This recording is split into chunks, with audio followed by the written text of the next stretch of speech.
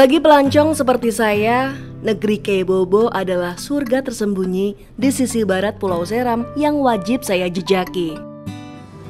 Untuk sampai ke negeri Keibobo, saya harus menyeberang dengan kapal feri.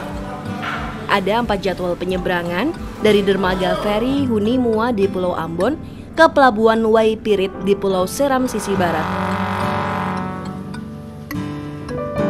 Saya memilih jadwal keberangkatan paling pagi. Ferry berlayar jam setengah enam waktu Indonesia Timur. Ini yang membuat saya memilih keberangkatan kapal paling pagi. Negeri Keibobu, satu desa yang ada di semenanjung Keibobu.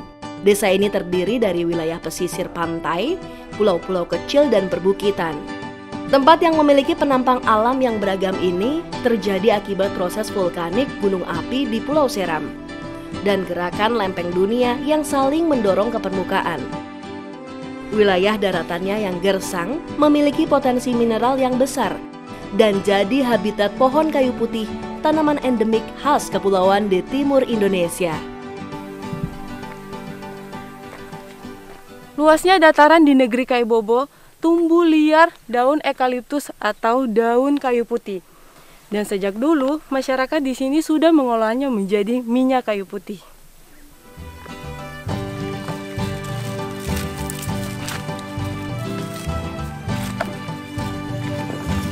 Sejak 1970-an, masyarakat di negeri Keibobu mulai membuat minyak kayu putih.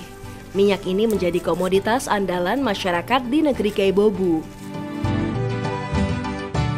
Hamparan luas perbukitan pintu angin di daerah Supur Negeri Keibobu ini ditumbuhi pohon kayu putih. Umurnya sudah puluhan tahun.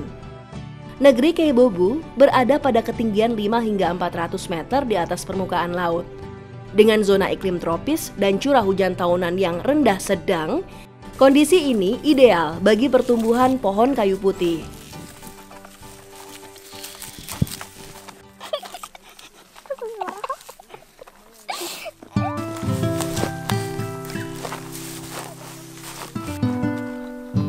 Warga mampu memanen daun kayu putih hingga 50 kg seharinya. Frankie Kuguail sudah sejak lama memanen kayu putih liar ini. Dibantu anak dan istrinya, dalam dua jam ember-embernya sudah dipenuhi daun ekaliptus.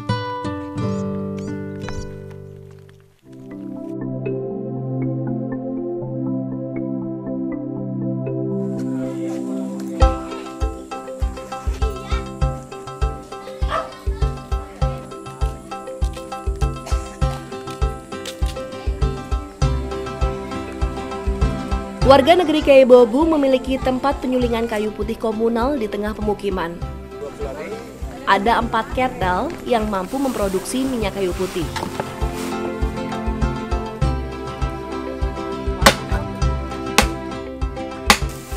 Pak, biasanya satu ketel itu isinya berapa banyak daun kayu putih ini? Iya biasanya Bu satu ketel itu muatnya 250 kilo. Menghasilkan berapa banyak minyak? Iya satu kilo setengah. Satu kilo setengah. Iya. Oke Pak, lanjut.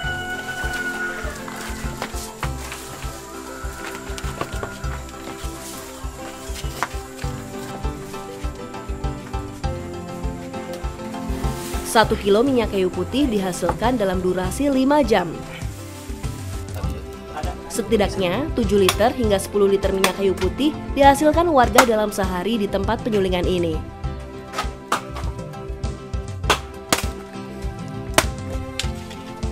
Ketel-ketel ini bekerja selama 15 jam dalam sehari dengan suhu pemanasan 150 hingga 200 derajat Celcius.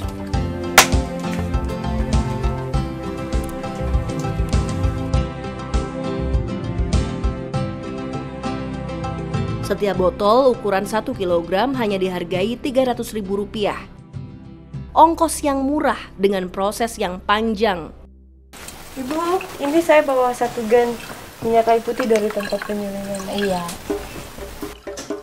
Minyak kayu putih negeri Keibobu salah satu hasil bumi terbaik dari Kepulauan Maluku.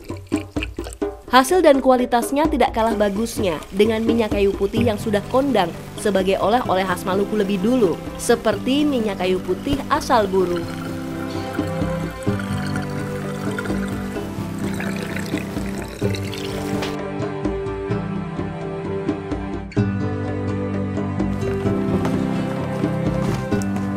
Para petani kayu putih di negeri Keibobu harus mengirim minyak mereka ke Pulau Buru agar lebih diakui kualitasnya dan laku dijual di pasaran. Sayangnya, label negeri Keibobu hilang, berganti nama jadi minyak kayu putih Pulau Buru. Wangi daun kayu putih asli Keibobu tak pernah tercium masyarakat luas.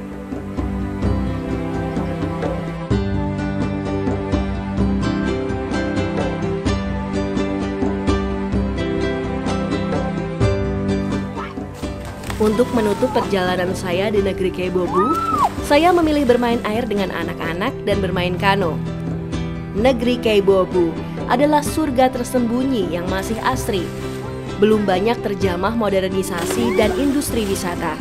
Semoga saya bisa kembali menikmati keindahan surga tersembunyi di wilayah barat di Pulau Seram ini.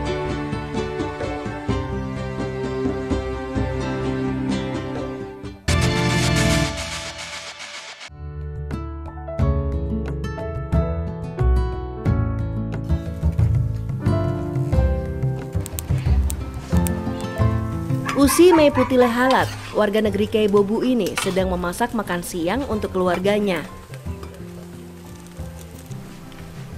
Halo Ibu Mei. Iya. Dari luar tuh harum sekali. Iya. Lagi masak apa Bu? Lagi masak ikan. masak ikan. Iya. Iya. Saya diajak masak ini kan? Boleh, boleh, boleh. Mari. Biasanya jika ada tamu, Usi Mei akan memasak ikan kuah kuning sebagai lauk papeda atau sagu lenteng.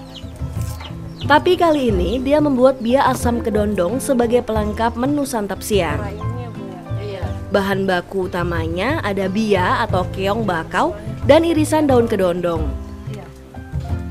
Bumbunya cabai, bawang merah, bawang putih, sereh, daun jeruk, gula, dan garam secukupnya. Semua bumbu dihaluskan kecuali sereh dan daun jeruk. Masuk ke dalam ya kita masak, kita tumis.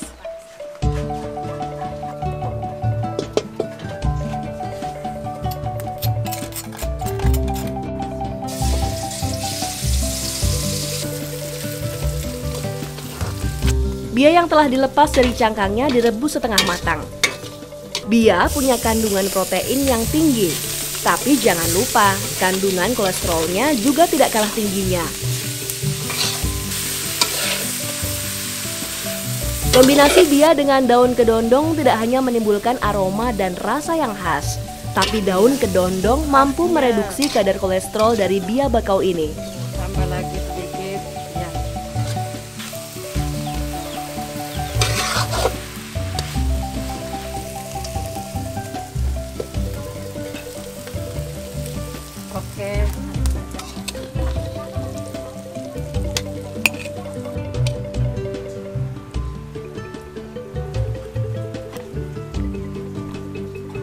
Saatnya santap siang. Usi Mei dan Usi Angel mengajak saya menyantap hidangan di Anjungan Dermaga Tanjung Kaibobu. Ada papeda, sagu lenteng, dan ubi sebagai pangan pokok khas di timur Indonesia. Lauknya ikan kuah kuning dan yang istimewa bia asam kedondong. Tak lupa disediakan tumis kangkung bunga pepaya untuk mengurangi kandungan kolesterol pada bia.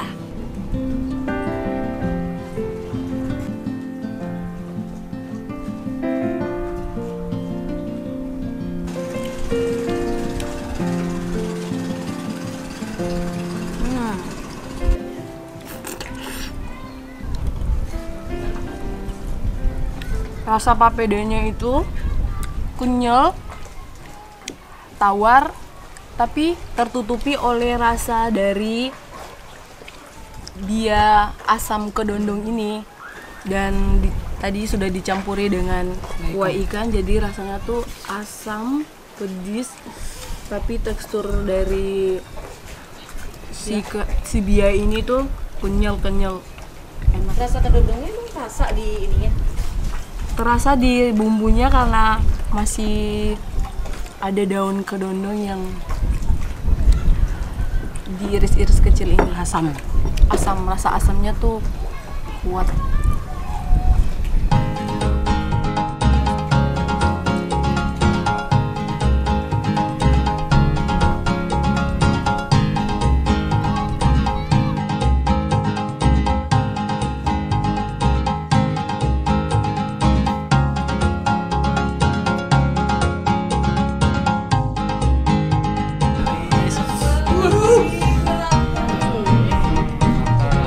Bia bakau adalah variasi sumber protein bagi masyarakat negeri Kaibobu.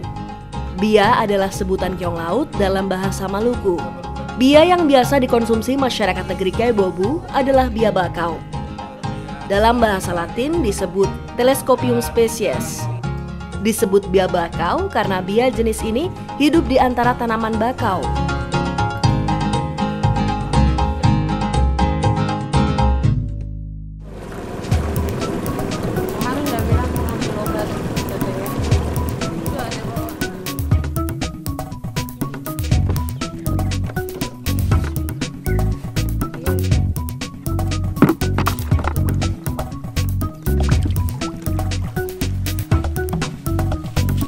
Usime biasa mencari bia bersama anaknya ketika air laut surut pada pagi hari.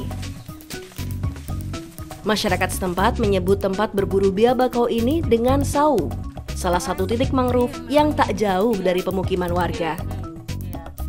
Agak sulit menemukan bia bakau karena warna cangkangnya mirip dengan ujung bakau muda. Banyaknya bia bakau jadi penanda masih terjaganya hutan bakau di negeri Kaibobu. Terjaganya hutan bakau di negeri Kaibobu memberikan manfaat besar bagi masyarakat Kaibobu. Hutan ini tak hanya melindungi daratan dari abrasi dan menjadi penahan gempa, tapi juga menjadi penjaga biota laut yang beragam.